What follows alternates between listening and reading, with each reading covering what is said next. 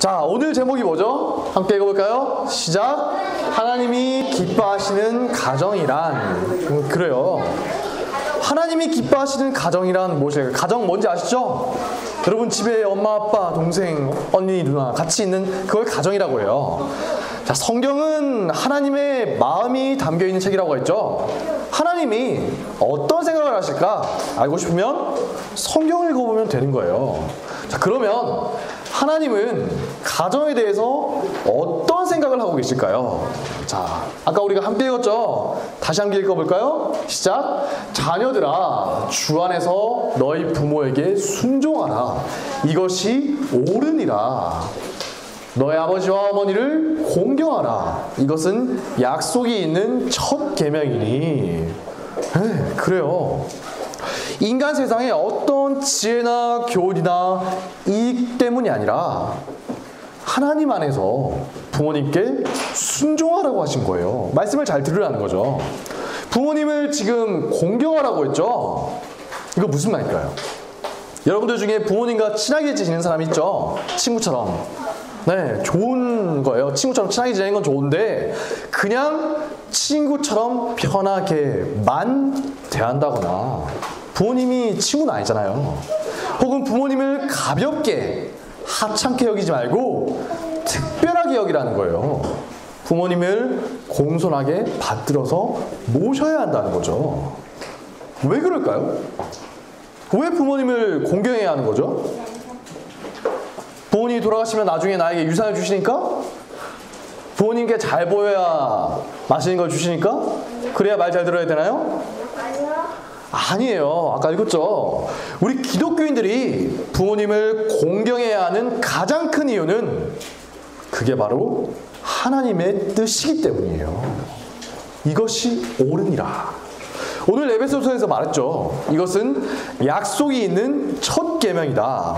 무슨 말일까요? 자, 모세가 하나님의 산에서 10계명을 받았죠. 10계명 아시는 분 있나요? 네. 그런데 혹시 이거 아세요? 10계명의 첫 번째부터 네 번째 계명까지는 하나님과 인간 사이에 지켜야 되는 계명이거든요. 나머지 다섯 번째부터 열 번째 계명이 우리 하나님의 백성들 사이에서 지켜야 하는 계명이에요. 그런데 사람들 사이에서 지켜야 하는 계명 중에서 제일 먼저 나온 게 뭘까요? 네, 바로 그 말씀이에요. 함께 읽어볼까요? 자, 시작. 내 부모를 공경하라. 그리하면 내 하나님 여호와가 내게 준 땅에서 내 생명이 길리라. 아멘.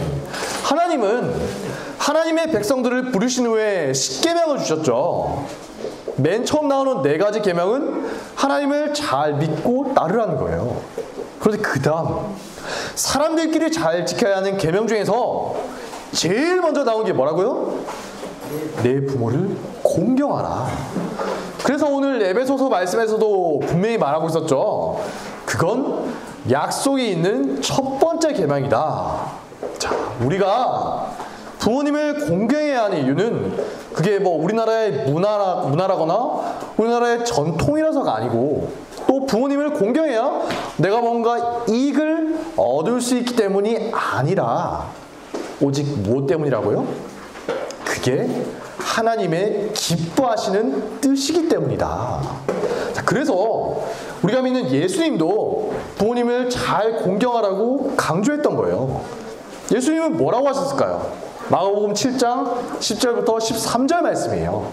함께 읽어볼까요? 시작. 모세는 내 부모를 공경하라 하고 또 아버지나 어머니를 모욕하는 자는 죽임을 당하리라 하였거늘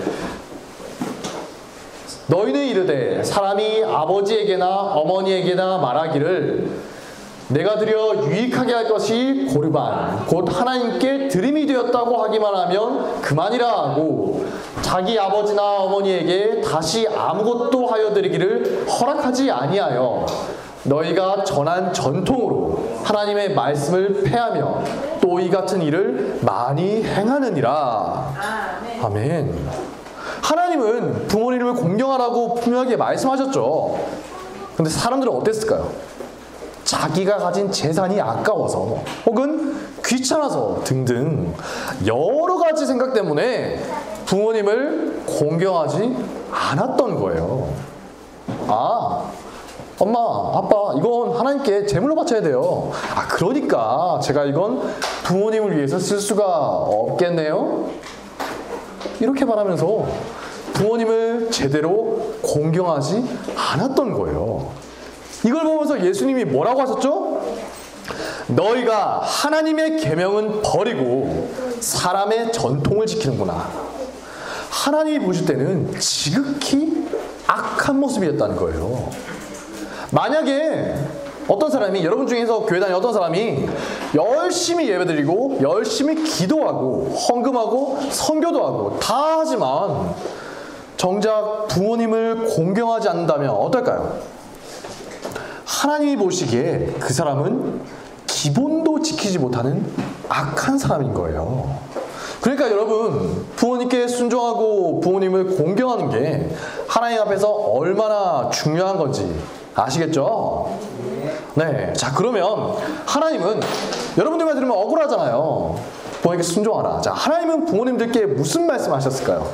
먼저 시편 127편 3절을 함께 읽겠습니다. 시작. 보라 자식들은 여호와의 기업이요 태의 열매는 그의 상급이로다.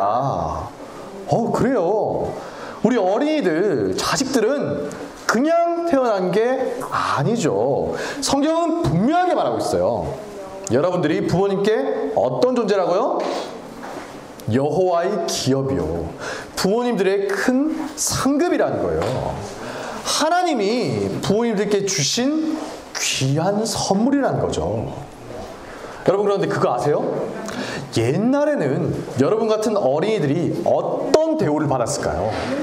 몰라요. 지금은 어린이를 괴롭히면 어떻게 하죠? 큰일 나죠. 경찰에 잡혀가요. 어, 옛날에 어땠을까요? 옛날에 어린이들은 옛날에 어린이들은 무시받고 쓸모없는 사람 취급을 받았어요. 우리나라에서도 그랬어요. 어린이라고 불러주지도 않았어요. 그냥 야 하면서 불렀죠. 네, 심지어 부모 마음에 들지 않으면 어떨까요? 아이를 괴롭히고 죽일 수도 있었, 어, 버리고 죽일 수도 있었대요. 그렇게 해도 안 잡혀가는 거예요. 괜찮아. 게다가 어린이들은 사람 숫자를 셀 때 어땠을까? 세지도 않았어요. 지금 이렇게 우리가 있죠. 사람 숫자를 셀 때 어른만 세는 거예요. 아이들? 아이들 세서 뭐해? 음, 정말 무시무시하잖아요? 옛날엔 그랬던 거예요. 하지만 하나님은 그런 세상 속에서도 분명하게 말씀하고 계시죠. 자녀들은 하나님이 주신 보석과 같은 선물이다. 하나님이 우리들에게 특별하게 주신 선물을 우리가 함부로 다룬다면 어떨까요? 믿고 맡긴 건데 엉망으로 만들어 버린다면 하나님이 보시기에 악하겠죠. 네. 그래서 오늘 말씀에서도 분명하게 말하고 있었죠. 자, 함께 읽어볼까요? 시작. 또 아비들아, 너희 자녀를 노엽게 하지 말고 오직 주의 교훈과 훈계로 양육하라. 아멘. 그래요.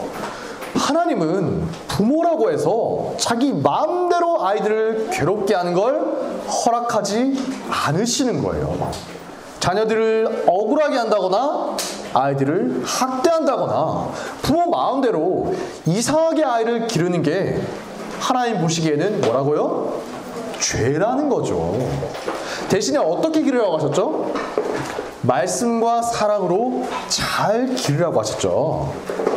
하나님이 주신 보석과 같은 아이들을 사랑으로 잘 기르고 하나님의 말씀으로 잘 가르쳐야 한다는 거예요. 자, 이쯤 되면 뭔가 불만이 있는 사람이 있을 거예요. 자, 뭐죠? 아! 여러분 듣는 말 아니에요? 뭐 나중에 뭐가 되려 그래? 뭔가가 되겠죠. 헤드부 좀 그만해. 싫어요. 게임 좀 그만해. 싫다니까요. 또 뭐라고 하죠? 일치하면 안 되겠니? 여러분 일치자요? 어. 아, 12시에. 아, 일찍 자야지 키가 자라요. 숙제는 다 했니? 숙제 안 할래요. 여러분 숙제해요? 어우, 예, 대단하시네요. 숙제를 하다니. 네. TV 그만 보고 공부 좀 해. 이런 말씀 들은 적 없어요? 제일 싫어요. 바로 편식하지 마. 이제 이런 말 들으면 어때요? 이제 그만! 그만! 그만! 이제 좀 그만하세요. 이런 말 들으죠? 네. 전에도 있었는데요, 지난주에. 우리 부모님은 저를 혼내시는데요? 저한테 자꾸 잔소리를 하고 혼내세요. 이런 분 없어요? 없어요? 안 혼나요? 제가 지난주에 분명히 들었는데 아 혼나요? 네 제가 비밀은 지켜드리겠습니다 저는 어땠을까요? 저는 정말 많이 그랬, 그렇게 생각했어요 심지어 어떻게 했냐 우리 엄마는 진짜 엄마가 아닐 거야 진짜 엄마라면 나를 왜 자꾸 저렇게 혼내지? 그래서 제가 진짜 엄마를 찾았을까요? 아니죠. 네, 절, 저를 그렇게나 많이 혼내던 분이 진짜 엄마가 맞았어요. 자, 그러면 왜 우리 부모님은 우리를 혼내고 자꾸 잔소리를 하시는 걸까요? 우리를 왜 아, 벌써 그렇게 정답 말하면 재미가 없어요. 자, 말씀을 함께 읽겠습니다. 먼저 잠언 3장 11절에서 12절 말씀이에요. 자, 시작. 내 아들아, 여호와의 징계를 경히 여기지 말라. 그 꾸지람을 싫어하지 말라. 대저 여호와께서 그 사랑하신 자를 징계하시기를 마치 아비가 그 기뻐하는 아들을 징계한 같이 하시느니라. 아멘. 그래요. 하나님이 우리를 자녀로 생각하고 사랑하시기 때문에 우리가 잘못할 때마다 혼내기도 하고 잔소리도 하신다는 거죠. 그래서 히브리서를 보면 더 분명하게 말하고 있어요. 함께 읽어볼까요? 시작. 하나님이 아들과 같이 너희를 대우하시나니 어찌 아버지가 징계하지 않는 아들이 있으리요. 징계는 다 받는 것이거늘 너희에게 없으면 사생자요 친아들이 아니니라. 부모님들이 우리를 사랑하기 때문에 혼내고 사랑하기 때문에 잔소리를 하신다는 거예요.